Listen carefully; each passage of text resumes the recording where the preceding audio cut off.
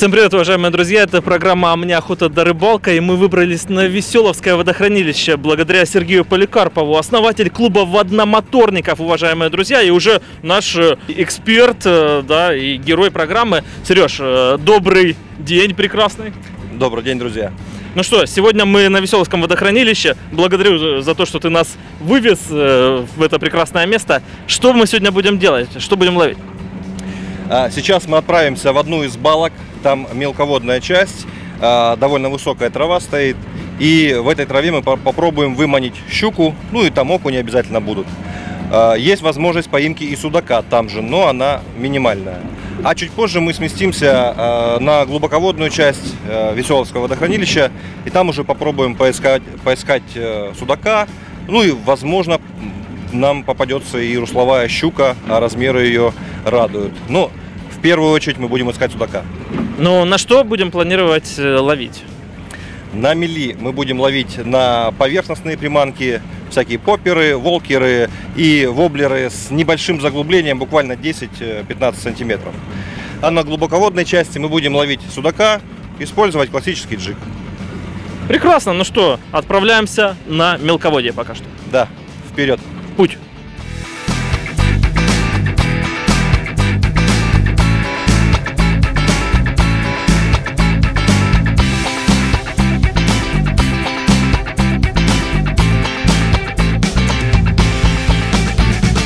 Сереж, ну ты выбрал уже место, я так понимаю, да? Да, мы как раз пришли на мое излюбленное место. Здесь можно увидеть э, мелко. С одной стороны, кажется, что глубина буквально 40 сантиметров. На самом деле под травой здесь глубина 2 метра. То есть такая высокая трава. И в этой траве обязательно стоит щука, ждет нашу приманку, и мы сейчас будем ее ловить. Так, у тебя сразу э, мы видим... Э, Флюрокарбоновый поводок, потому что щука, она запросто перекусывает более тонкий, здесь 0,45. Э, ставим поводок, ставим поверхностную приманку, которая идет поверху над травой, ну и щука ее атакует. Э, попробуем. Не факт, что мы поймаем рыбу, это рыбалка, но мы сделаем все для этого. Конечно, будем стараться. А у меня струна вместо ну, поводок пойдет? Пойдет, можно струну. Ну, я люблю использовать флюрокарбон. Мне кажется, что меньше пугает рыбу. Я могу ошибаться, но смотрю, что многие э, рыболовы именно струну. Но здесь я не рассчитываю на трофей. А если мы идем за трофеем, за щукой русловой, которая там 5-6 килограммов, то там, конечно, нужно ставить струну, Иначе даже вот такой флюрик она перекусит.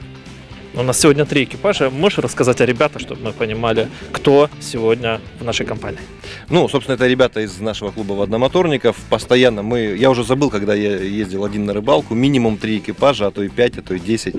А, ну и вот одна лодка ПВХ 350 а, размера, то есть для двоих хороший вариант. И одна лодка пластиковая, тоже, э, тоже размер 350, и также комфортно на ней рыбачить, ну, на такой относительно спокойной воде. Хотя и такая лодка выдерживает и больше, большее волнение. Ну, в общем, давайте приступать к рыбалке. Сейчас как раз самое время, сейчас закат, так называемая вечерка. И сейчас как раз должен быть выход рыбы.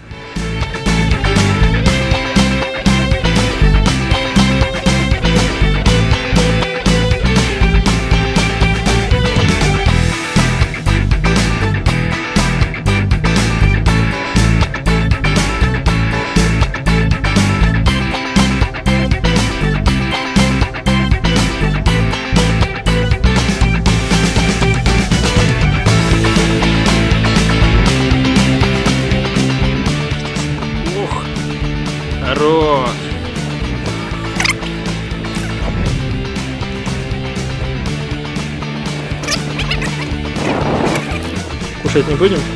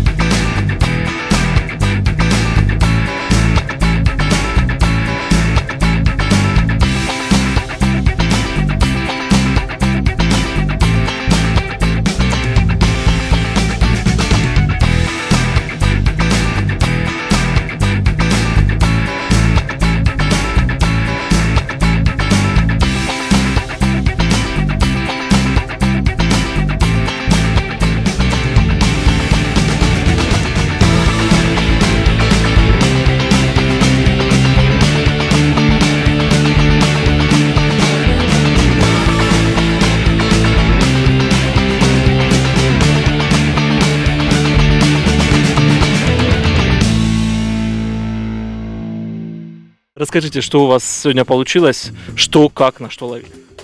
Получилось э, совершить выезд, все-таки долгожданный, на Веселовское водохранилище.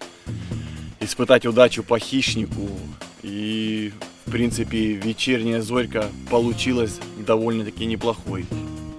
Иван первый вытащил. Щуки, конечно, не было, хотелось бы, но окунь порадовал сегодня нас немножко. Дал, дал жару, так сказать, акушу. Ну покажите, что за окунь, на что вы его смогли выудить?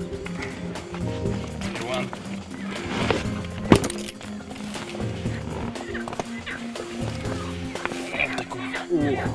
Хорошенький. Окушки, конечно, чуть-чуть взяли с собой. В основном отпускали. Ну, маленький он зачем нужен, а эти сейчас пойдут немного на ушицу, наверное, вечернюю, да, да посидим, байки порассказываем Да. рыбацкие. Маленькие. Так. Ну, сейчас пойдут, да. На уху нормально. Отлично, отлично. На что брались-то? Брались вот на такие вот штучки.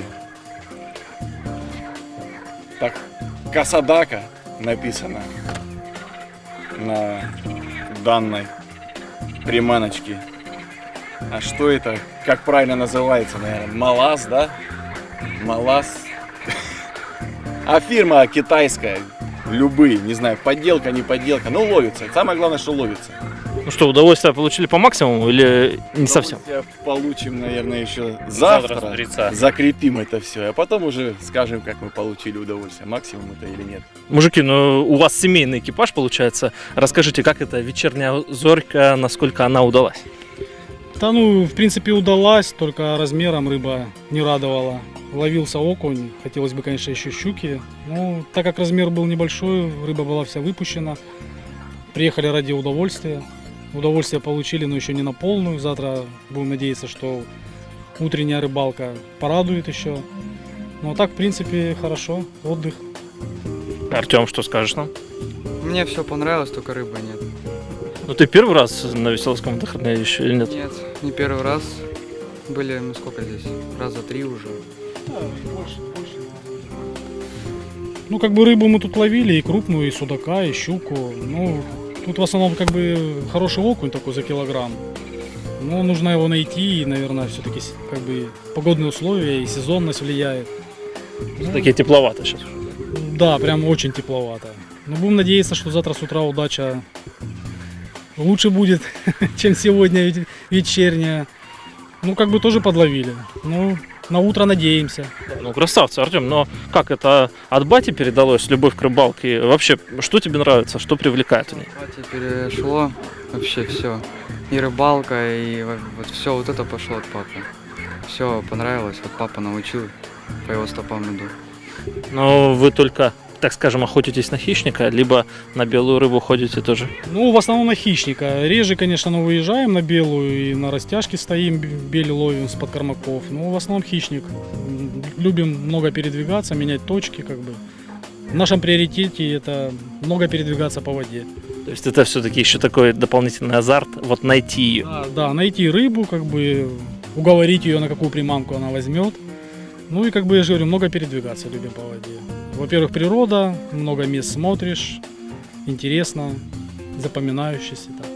Супер, Артем. Ну, расскажи нам, сколько тебе лет и э, какая у тебя в послужном списке самая большая, да, самая крупная особь хищная? А, мне 14 лет.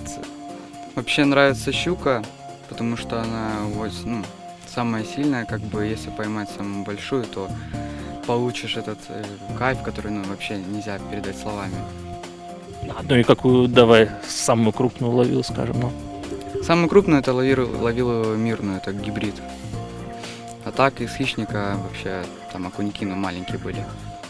Щуки пока не было такой хорошей. Ну, хорошая не было, была ну, малю- малюсенькая. А, Шнурочки, шнурочки. Ну ничего, все впереди, правильно? Да, да. Может уже завтра утром. Да, сто процентов завтра мы возьмем свою рыбу. Ну что ж, друзья, вот так завершается наша вечерняя зорька, уже ночная, можно сказать. Сергей Поликарпов сегодня нас вывез, э, ну, буквально там пару-тройку часов мы провели, но получили огромное удовольствие. Я видел своими глазами через объектив нашего оператора Виталия Ступакова, как Сергей выловил хорошего окуня достаточно, но почему-то по каким-то причинам решил его не брать. Сереж, почему? Да, в последнее время я, в общем-то, практически всегда отпускаю рыбу. Рыба всегда дома есть, и я еду на рыбалку именно за удовольствием. Не могу сказать, что я всегда отпускаю рыбу, но большинство своих выездов я просто ловлю рыбу, отпускаю, получаю удовольствие. Я снимаю видео, просто для себя, для своих друзей, для своего канала. Мягко говоря, сегодня вечерняя зорька вышла не очень. Рыба была, э, было видно, как она гуляет, э, были поклевки, были поимки, но мало. Для здешних мест это мало, потому что и открытие сезона мы делали именно там, где мы сегодня были, и мы прекрасно тогда отловились в тех же самых местах, на те же самые снасти. А Сегодня их щука игнорировала. Ну, я связываю это с тем, что сейчас уже днем температура воды, э, температура воздуха поднялась до 40 градусов в тени. Возможно, что рыба стала либо менее активна, либо она ушла в русло. И в следующий раз мы попробуем ее там поискать. Мы будем искать судака, и мы попробуем поискать щуку. Возможно, она спряталась на глубине, где вода еще не настолько сильно прогрелась. Да, но в следующий раз, друзья, у нас будет уже очень скоро, а у вас э, через пару недель в следующем выпуске, я надеюсь, что мы вам сможем э, показать обилие рыбы, которая присутствует именно хищник, да, в- здесь, в водохранилище. Да-да, мы отправимся на большую воду, не на меляк, а на большую воду, на глубину 6,5-7 метров. И будем там искать э, трофейную рыбку. Ну и там те же самые окуни, которые, на мелководье, в общем-то, там небольшие, до полукилограмма. На большой воде встречаются очень серьезные экземпля- э, экземпляры за килограмм. И нередко. В общем, будем искать. И надеяться, что удастся это запечатлеть. Уважаемые друзья, мы с вами прощаемся. Сергей Поликарпов, э, основатель клуба водномоторников. Вконтакте вы можете подписываться и узнавать много интересного. Кстати, будет специальный выпуск, посвященный тем людям, которые только планируют э, познакомиться со своей лодкой будущей, да? Да-да-да. Мы все расскажем, всяческие нюансы, которые могут быть неизвестны новичкам, но которые следует знать. Что же, а мы с вами прощаемся. Это была программа «А мне охота до рыбалка». Увидимся вновь через пару недель. Будьте здоровы.